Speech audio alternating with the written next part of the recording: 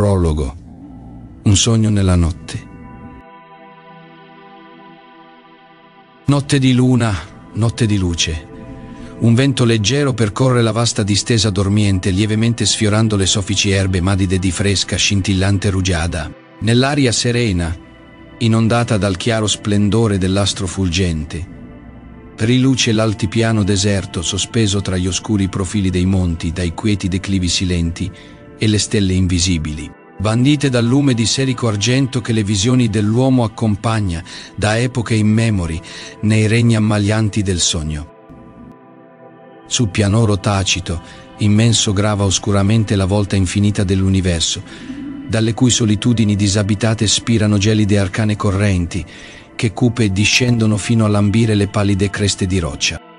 Come rispondendo ad un sinistro richiamo misterioso e sfuggente innalzantesi rapido dal ventre furtivo delle desolate montagne.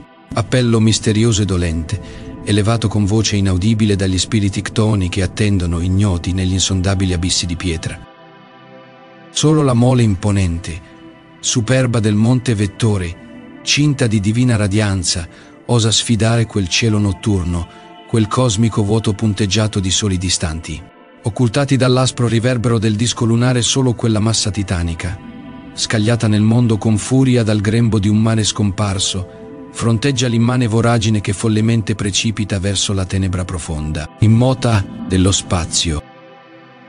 Nave mostruosa, affiorante nel tranquillo silenzio dall'oceano d'erba sognante, bagnata di candida luce, la montagna protegge i percorsi segreti, le vie d'accesso elusive che, ascendendo ripide lungo i fianchi scoscesi delle altissime rupi, conducono alle antiche dimore delle potenze divine, il cui imperio si estende. Lungo i sentieri di cresta le vertiginose giogaie immerse nell'inerte bagliore fantastico, fino al lugubre monte prodigioso e maligno della Sibilla. Nessun suono interrompe l'incanto luminoso, il sonno cristallino, immutabile del paesaggio addormentato. Solo, in distanza, un baluginare sommesso di luci, il trascorrere fievole di voci lontane, segno certo che qualcuno tra le case ed i vicoli di Castelluccio sta vegliando nella tiepida ora notturna. È questo lo scorcio che appare al viandante, il quale si rechi nella notte al pian grande, affrettando fremente il passo timoroso allarmato, impaziente di giungere al tetto ospitale ed amico ai volti affettuosi nel silenzio nefasto, inebriante e malevolo del plenilunio. Ed era anche quella notte splendente silenzio. In piedi nel prato umido, morbido, circondato dai profumi della terra, dalla fragranza limpida, stordente delle piante erbacee, dal vivido timbro ardente della luce lunare, attendevo con turbata inquietudine. Ero giunto al termine del mio lungo viaggio, temerario, delirante nei reami illusori e farneticanti dell'allucinazione, nella signoria spaventosa e funesta del mito. Avevo portato a compimento infine la mia singolare ricerca, la mia indagine bizzarra e inusitata, la mia inchiesta folle, dissennata dagli esiti nefasti e imprevedibili. La notte avvolgeva benigna l'ampia pianura, pacifica, immobile.